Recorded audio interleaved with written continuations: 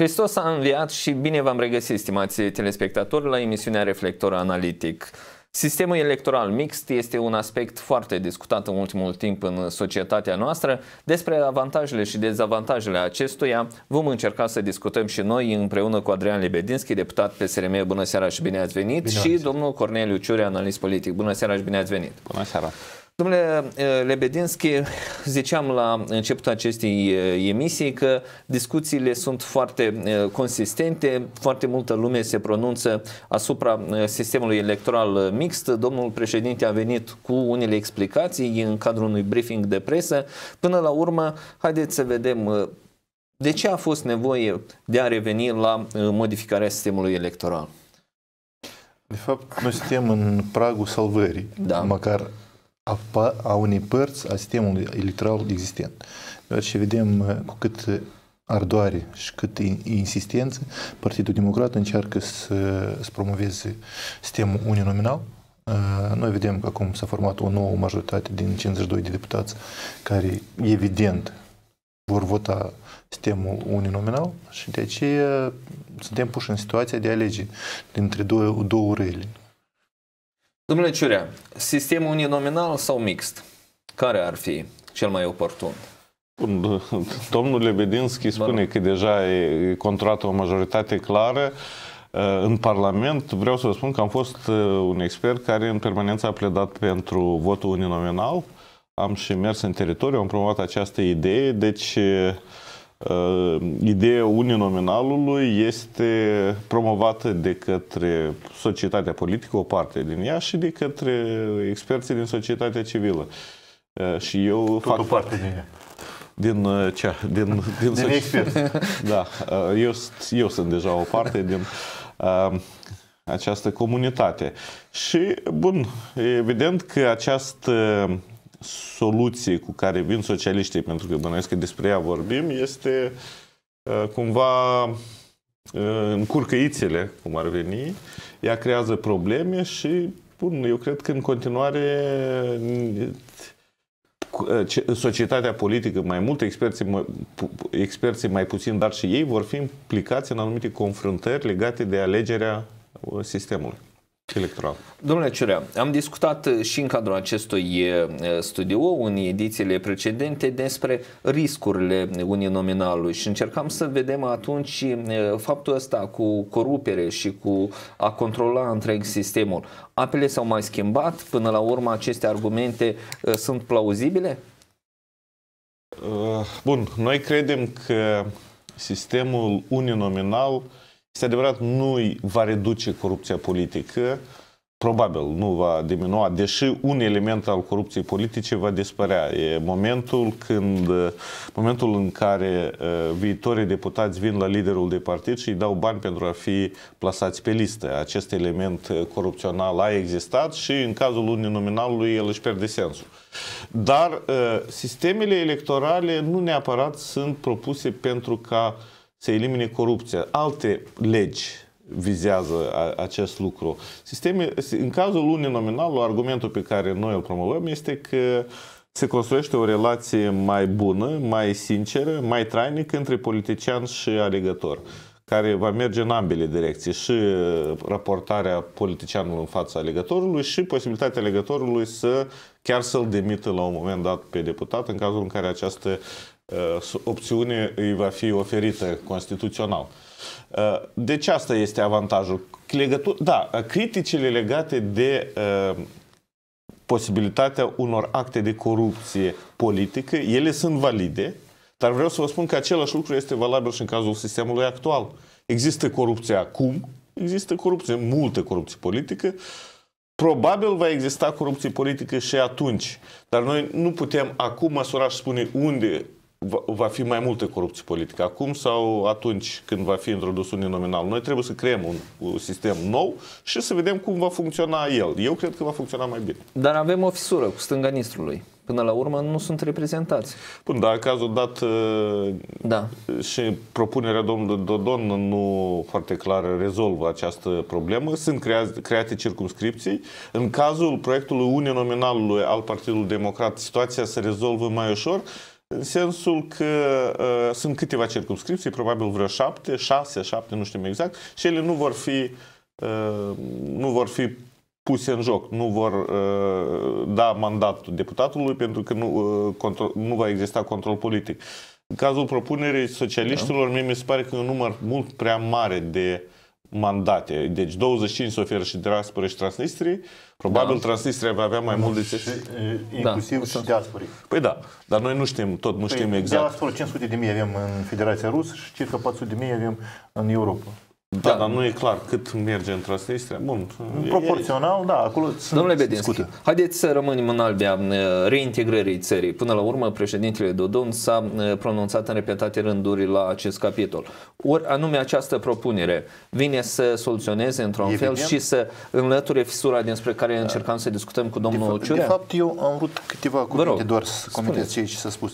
Uh, este foarte interesant cum un partid care a acces în Parlament cu 19 mandate, la moment are o fracțiune formată din 40, ei declară că sunt 41, un deputat așteaptă să expire jumătate de ani de când a ieșit din uh, fracțiune și respectiv încă 11 deputați care sunt uh, aderați la altă fracțiune formată tot refugiați. Respectiv, foarte simplu, au fost distruse din câteva partide au fost scoși persoanele și s-a format această fracțiune nu, pentru mine este destul de dubios cum s-a format ea. Nu știu, nu vreau să spun că a fost uh, vorba de corupție sau de șantaj sau de, poate într-adevăr cineva și-a schimbat uh, viziunile politice.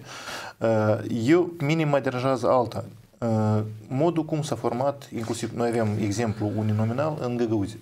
Da. Și vedeți cum n-a participat niciun candidat cu sigla PDM-ului, dar majoritatea de fapt sunt subordonați PDM-ului.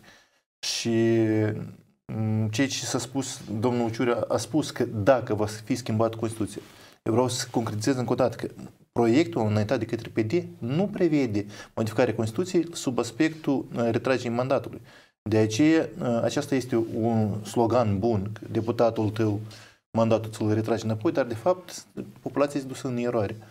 De fapt, noi avem un sistem prin care cineva își promovează deputații săi și de la bun început știind că nimeni nu, din cetățeni nu o să poată pretinde asupra retragerii mandatului. În orice caz, în următorul uh, Parlament care va fi, deoarece modificarea Constituției nu trebuie aproape un an de zile până la modificare, respectiv noi intervenim în modificări până la un an uh, până la alegeri și respectiv tehnic nu e posibil aceasta de făcut. Da. Uh, ceea ce cu Transnistria. Ce mă deranjează pe da. mine, de, de pildă, în uh, schimbarea sistemului în uninominal, acesta este faptul că, de fapt, vor fi distruse partidele. Sistemul politic uh, pluripartid în uh, Republica Moldova va, va fi distrus din simplu considerent că nu mai este necesar să candidezi pe listele partidului. Este mai rentabil să ai candidat, ai candidat de sine stătător, da, de sine stătător și pe urmă pui la târg în Parlament și spune păi cine Cât dă, valorez, cine, da? da? cine dă mai mult, acel, pentru acel, cu acela merg. Uh, dar logica în aceasta și constă, nu poți să formezi un, un guvern, mai ales că termenii sunt destul, destul de restrânși. Uh, trebuie să formezi guvernul, trebuie să alegi comisiile, trebuie să formezi fracțiunile, trebuie să uh, comisiile permanente și așa mai departe. Este un lucru destul de anevoios și mult. De ce, neavând lideri, neavând o structură bine formată în, în jurul cărora se vor forma aceste nu, fracțiuni, aceste grupuri parlamentare, eu nu închipui cam, cam cum ar lucra ei. Ceea ce legat de Transnistria, Chiar mă rog. este evident, domnul președinte și-a pus ca scop reîntrecirea țării. Dacă ați văzut ultimele mesaje, ultima întâlnire care a fost, de acum nu, nu au mai fost ex, expus viziuni de noi suntem independenți și a fost mai, mai liniștit discursul, a fost și cred că totuși cu timpul, nu, nu vorbim de anul 2017, dar 2018-2019, eu cred că noi o să avem progrese mult mai mari în unificarea țării. Dar primul imbol care noi trebuie să-l dăm, noi, noi trebuie să arătăm că, că ei pentru noi sunt importanți, că ei sunt cetățenii Republicii Moldova și e un teritoriu care temporar a fost înstrăinat de la noi din, din careva momente, iarăși e vorba de momente politice. Dacă noi am oferit potrivit proiectului acestor cetățeni din stânga Nistrului posibilitatea de a-și alege candidaților, de a avea reprezentanța în Parlamentul Republicii Moldova, aceasta iar stimula și ceilalți, doar potrivit Ministerului Dezvoltării Informaționale, noi avem 221.000 pare cetățeni care trăiesc în stânga Nistrului. Potrivit datelor Comisiei Electorale Centrale a Transnistriei, 450.000. De fapt, 270.000, 280.000 de cetățeni undeva din, din calcul care le facem noi, nu sunt cetățeni ai Republicii Moldova, dar trăiesc pe teritoriul Transnistriei. Ceea ce ar, evident ar fi pentru noi o plus valoare. Acestea sunt persoane care ar lucra, care ar activa în economia națională și nu, nu ei ne sunt necesari.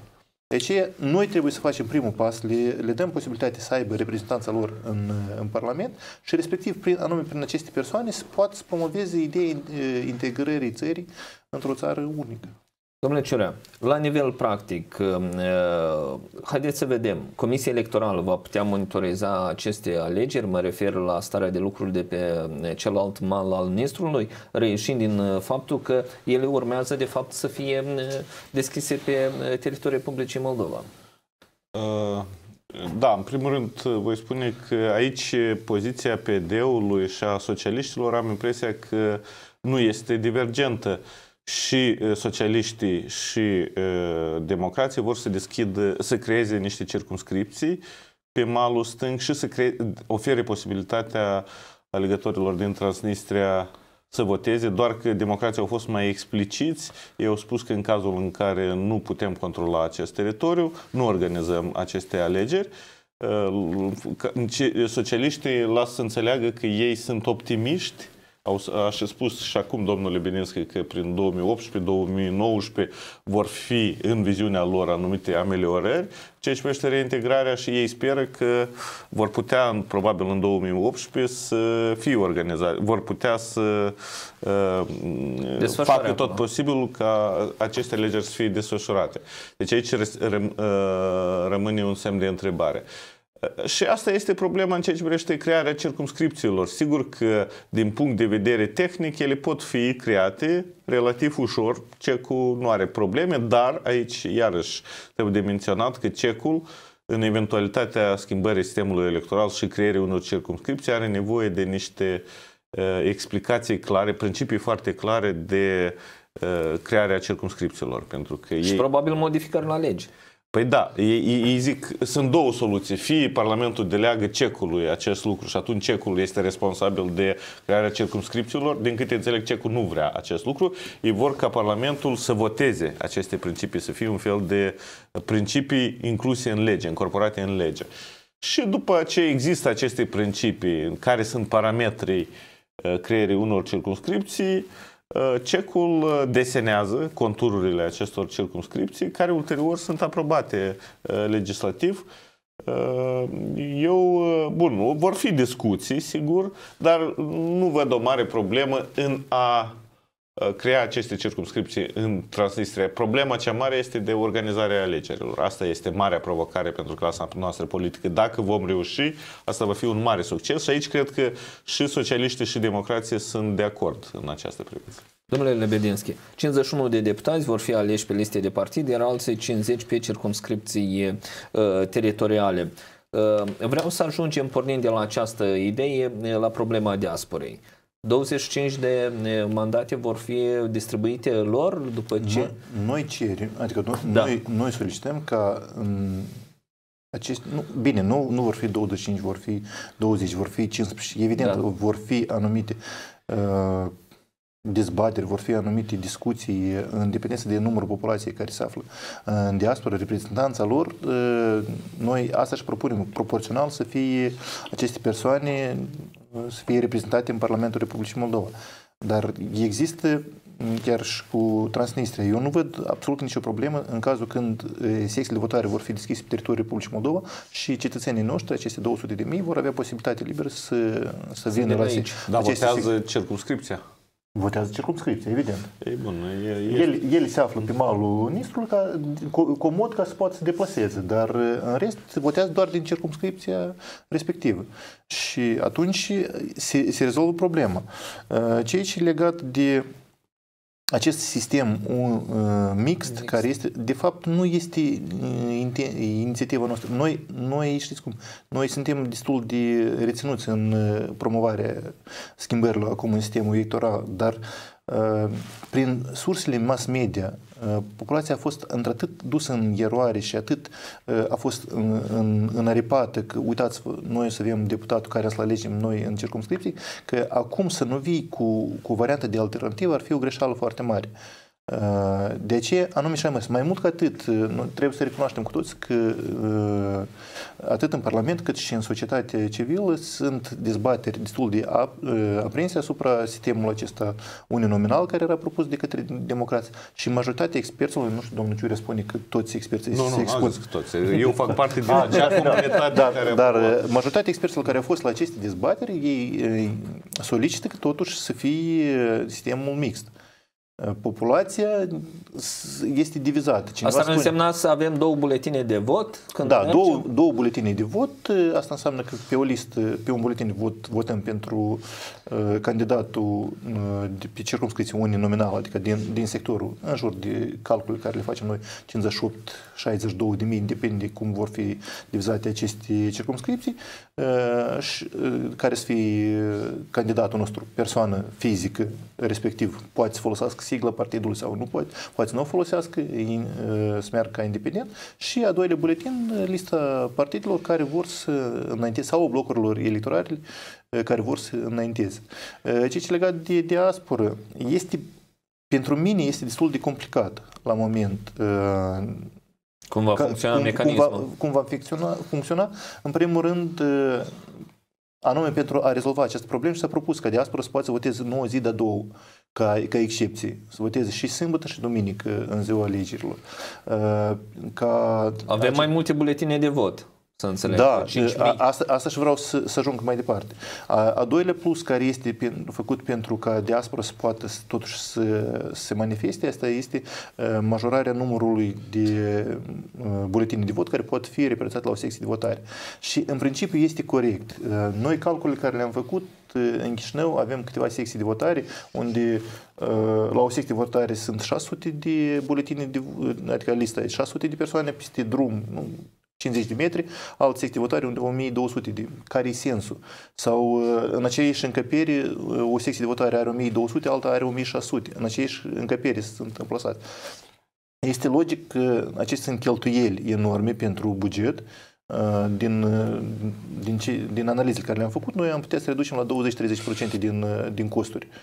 Uh, anume ce este legat de alegeri cu uh, achitarea serviciilor pentru doar majoritatea cheltuielor sunt anume pentru personalul care se află în aceste secții de birouri electorale. Și pentru diaspora, mă întorc mai departe, da. Uh, diaspora mai are încă un mare plus că ar putea să delege acele persoane care i-ar reprezenta pe ei. Și este evident pe, pentru noi, Uh, este un plus foarte mare că uh, diaspora atât din Europa cât și cea din Federația Rusă nu o să voteze niciunii pentru Partidul Democrat. Evident, o să voteze pentru alți candidați care acum reprezintă opoziția. Domnule Ciorea, spuneți-ne, vă rog, uh, minimul 600 de semnături este mult sau este puțin pentru că o persoană să poată obține acest statut de candidat? Bun, aici e discuția între domnul Dodon și democrați, pentru că da. democrații propun minimum 1000 de semnături, domnul Dodon consideră că 1000 este uh, prea mult și uh, pledează în favoarea cifrei de 600. Cifrei de 600, mai puțin. Uh, Acum, ă, întrebarea este, într-o, da, dar în cazul domnului Dodon cresc și, crește și magnitudinea circumscripției. Deci ați spus că 58-62 de mii. Deci din 58-62 de mii de alegători, ă, da, trebuie să colectezi un procent. În cazul democraților din 30 de mii, 3%. 3, 3 procente. Un procent și 3. Deci diferența este semnificativă. Ă, acum, întrebarea este de la care principiu pornești. Pornești de la un principiu mai democratic, că trebuie să oferi posibilitate, posibilitate largă oamenilor, oricine dorește să candideze și atunci 600 de semnături este mai bine, ori pornești de la un principiu că doar uh, nu toți pot să participe, trebuie să fie o anumită triere, cei mai vrednici, cei mai destoinici, mai cu resurse, mai pentru ca votul să fie în cadrul circumscripției mai coerent, să nu fie dispersarea votului, pentru că de multe ori asta se întâmplă în cazul în care sunt mulți candidați și atunci optez pentru soluția democraților. Bun, eu de la bun început am uh, mers pe ideea că uninominalul este bun și atunci uh, am fost uh, cumva nevoit să promovez proiectul Partidului Democrat, am optat pentru soluția de 1000 și evident atunci când au venit socialiștii cu ideea de 600, Asta cumva ne-a luat prin surprindere. Eu cred că poate, pot fi discutate. Aceste lucruri încă mai pot fi discutate și ajustate. Mie mi se pare că totuși anumite uh, rigori trebuie să existe, nu oricine, să nu fie foarte ușoară sarcina de înregistrare, să fie depus un anumit efort pentru ca uh, să nu există acest proces de dispersare a votului, uh, tocmai pentru ca candidatul care câștigă alegerile să aibă în spate un sprijin important. Domnule Ciurea, studenții unde trebuie să voteze? De ce vă da, trebuie lucrul ăsta? Pentru că da, în fiecare campanie electorală ne ciocnim cu această problemă. La da, fie, la loc, fie, la, fie la locul de, unde domiciliază, asta de obicei este acasă, fie da. la țară, fie uh, acolo unde își face studiile. Își face studiile. Socialiștii propun uh, versiunea cu votarea studenților la locul, face, este posibil și la locul de studii, democrație doar uh, în caz doar la locul de baștenă, locul de reședință, leagă. Deci, ideea democrațiilor nu, nu este de a nu permite studenților să voteze la locul de studiu, dar este de a lega omul de circumscripție. Pentru că tu creezi circumscripții în toată țara și atunci, evident că oamenii pot fi legați de circunscripții doar în baza unui singur criteriu, uh, viză de reședință. Tu stai acolo. De obicei, ăsta este criteriul. În cazul uh, soluției socialiștilor este mai fluid totul, Bun, dar și sistemul este mixt, adică în cazul reprezentării proporționale pot să votez și la locul de studiu. Nu știu ce să vă spun. Uh, oricum, tinerii, dezbaterea mi se pare mai puțin importantă pentru că tinerii votează mai prost de obicei decât cei în vârstă și cei de vârstă medie. Eu, de de aici. parcă procentajul lor este mai inferior. Ei, la ultimele alegeri... mai puțin în țară, pur și simplu. Poate, poate asta, da. Acesta, da. Poate, poate, poate asta este considerentul. Da. Uh, Domnule, eu, da. da. Domnule Bedinski, cum, unde votează studenții? Uh, noi propunem ca studenții să voteze în orașul în care ei își fac studiile și, evident, pentru responsabilizarea lor ei sunt nevoiți, spre deosebire de ceilalți alegători, să mai, decla- să mai facă și o declarație în scris că nu vor vota adăugător. Evident că această, dacă vor fi identificate astfel de cazuri când persoana aceasta survine o răspundere penală pentru fraudare, dar nu, nu suntem pentru ca să speriem cumva pe cineva. Noi suntem pentru fapt ca fiecare să fie responsabil pentru votul său și pentru ca uh, noi, știți, noi, noi tindem să nu furăm de la cineva, dar să nu dăm voie altora să fure. Noi, cât, cât e a nostru, atât să primim. Anume asta și vrem să educăm și în generație tânără, adică pentru studenți și pentru elevi, de, de ce și se dă această posibilitate să voteze la locul de unde își face el studiile, ca, evident, e mult mai comod. În primul rând, economisești pentru transport, te afli împreună cu colegii, îți poți expune viziunile tale, știi mai bine că următorii 3, 4, 5 ani zile cât mai ai de învățat, tu o să fii în circumscripția asta și evident o să știi că te adresezi anume la, la persoana pentru care tu ai votat. Măcar că, credeți-mă, zi, zi de zi mă întâlnesc cu situația că eu am votat pentru voi, dar într-adevăr știi ce a făcut unul Domnule Bedinski, ce se întâmplă în cazul în care acest proiect care a fost depus în Parlament nu merge? Mă refer la sistemul electoral mixt. Ce urmează? Acțiuni. Acțiuni. Da. da, ce fel de acțiuni? Dați să vedem. Noi, noi totuși sperăm că uh, colegii mei acum sunt plecați uh, la Strasburg pentru ca să, uh, să transmită mesajul și respectiv proiectul înregistrat uh, sarcina este pusă față de ceilalți colegi să facă legătură cu toate reprezentanțele care sunt în Republica Moldova, uh, cu organizațiile internaționale, pentru ca uh, noi, noi înțelegem, noi singuri nu o să putem să influențăm Partidul Democrat, cum am spus la bun început, ia o majoritate uh, și singur nu o să putem să influențăm pe ei. De aceea și-am venit anume cu această alternativă ca, ca să nu fim puși învinuiți de, de partenerii externi care la care noi solicităm ajutor în, în cazul dat, uh, că dați alternativă și atunci o să, o să putem să vorbim, că discuții preventive au fost și ni s-a spus așa că noi nu putem să spunem că sistemul uninominal este rău, deoarece în unele țări din uh, Uniunea Europeană există așa. Noi nu putem să ne expunem. Dar dacă va fi încă, noi putem să spunem, păi, uitați-vă, examinați de alternativă. Și foarte mult sperăm la faptul că Partidul Democrat totuși își va da seama și își va retrage uh, inițiativa lor care cu votul uninominal și vor susține. Sperăm la aceasta. În orice caz, preventiv, de acum, e că ieri, astăzi, am mai avut discuții prin Parlament cu, cu colegi și ei spun că, nu, în principiu, idee interesantă, dar vedem. Noi, până când mergem pe, pe platformă care, care o aveau. De ce? Undeva faptul că ei de acum încep să clătina este bine. Vedem cu ce se termină. Nu știm absolut nimic. Nu știm. Nu, uh, evident, în primul rând, noi sperăm că populația noastră îi va convinge și chiar astăzi am primit sunete din, uh, din unele raioane, nu mai spun de unii, că profesorii sunt impuși în instituție de, uh, de învățământ să semneze pentru, în lista pentru votul uninominal. Evident, noi cu aceasta o să încercăm să, să rezolvăm întrebarea cu persoanele care impun conducerea instituțiilor de învățământ, care impun profesorii să facă astfel de situații, dar noi totuși sperăm că populația va fi mai responsabilă și va înțelege că nu trebuie să, să fie dus așa cum este dus la moment de către Partidul Democrat și cu această acțiune care au pornit. Trebuie să recunoaștem că este destul de eficient.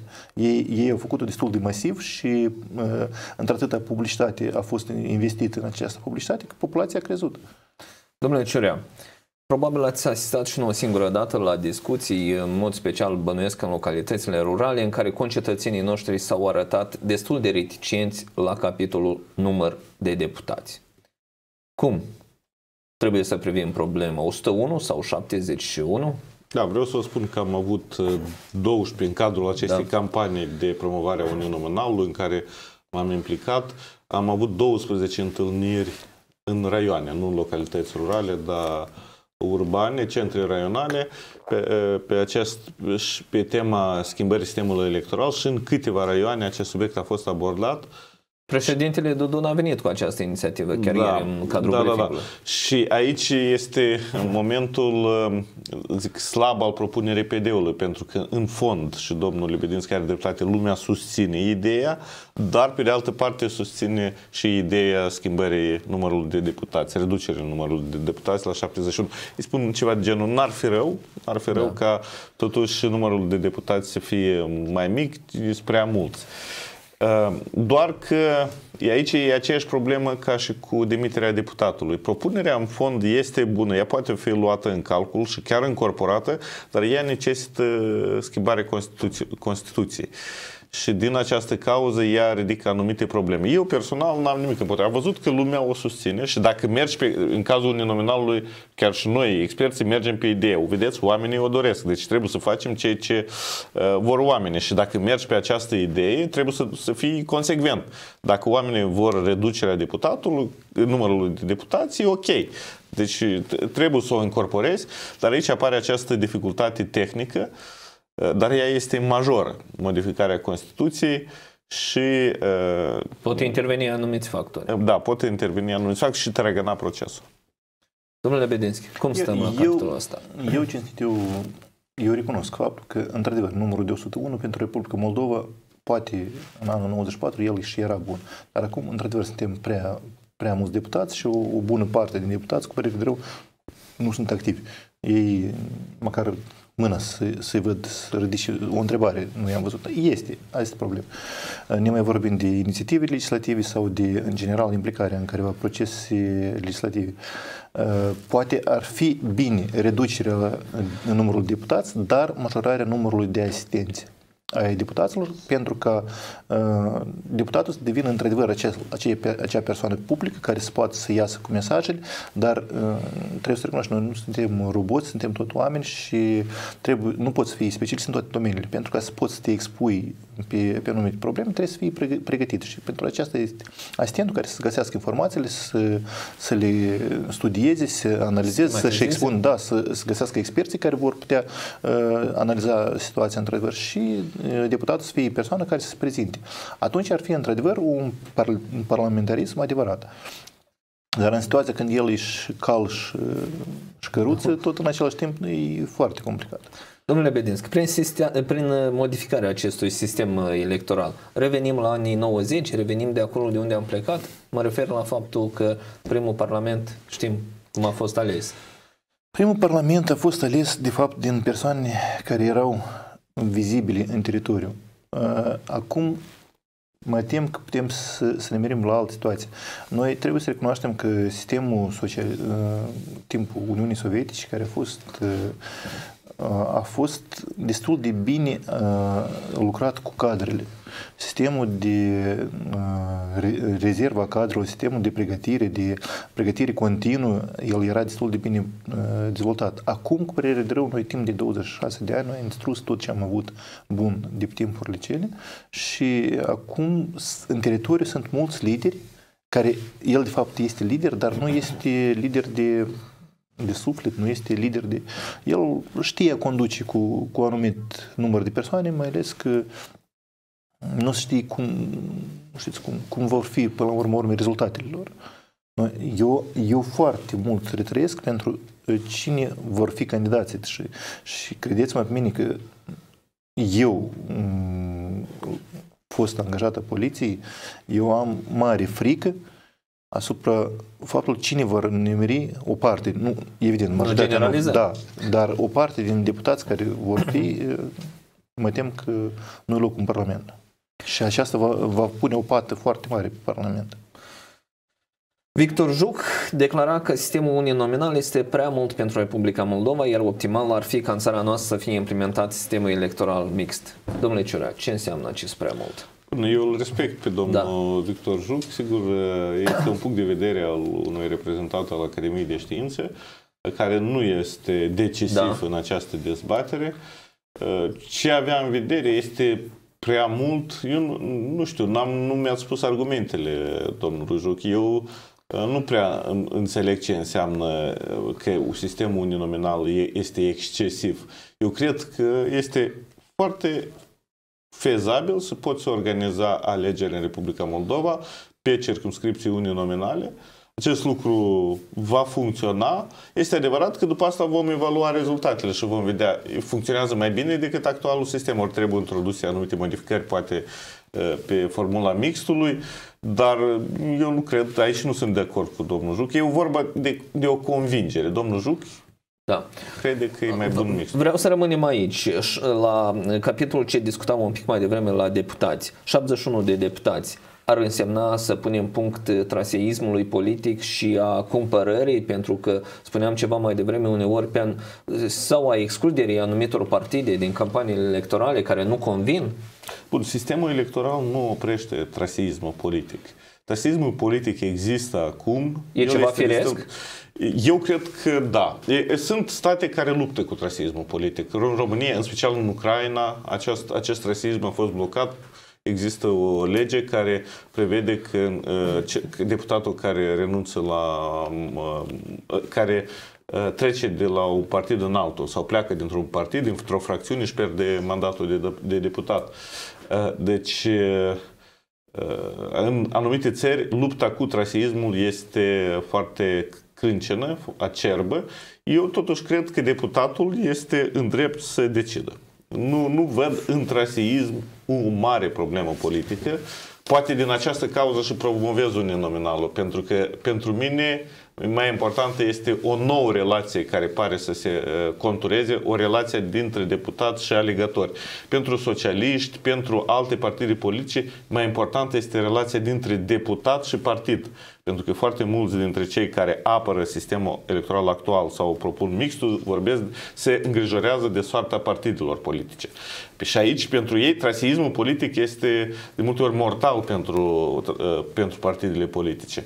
Eu cred că partidele noastre politice deja au ieșuat în multe privințe și din această cauză mai puțin trebuie să le acordăm lor atenție. Traseismul Dumnezeu cu el. Important este constituirea unei noi relații pe care uninominalul poate să, la care poate să contribuie. Pe cine i-ar dezavantaja proiectul mixt? Pe partidele mici? Proiectul mix, în mod clar, uninominalul dezavantajează partidele mici uninominalul nu distruge pluripartidismul, dar uninominalul de obicei are un efect de coagulare și de consolidare a forțelor mai mari și reducere, reduce numărul de partide, dar nu distruge pluripartidismul. Nu știu de unde s-a luat această idee, dar mixtul, mixtul el, el este o formulă intermediară. El uh, Uh, le dă dreptate și unora și altora, e cumva o soluție rabinică. Și tu ai dreptate și tu ai dreptate și haideți să fie pace. Poate că și țara să fie un pic rabinică. Da, da, este o soluție... Să, să nu divizăm chiar la tot. O soluție pașnică. Uh, bun, uh, dar ea este bună, o soluție de compromis, dar ea nu rezolvă definitiv problema pe care în cazul dat vor să o rezolve democrații Uh, relația dintre cetățean și deputat. Domnule Bedinski, aceeași întrebare. Pe cine îi avantajează și pe cine îi dezavantajează? Uh, sistemul uninominal, pe, pe, pentru mine, da. din, din ceea ce am studiat, din ceea ce am văzut proiectul uh, uh legislativ, uh, eu nu, nu văd cam cum ar fi activitatea mai departe.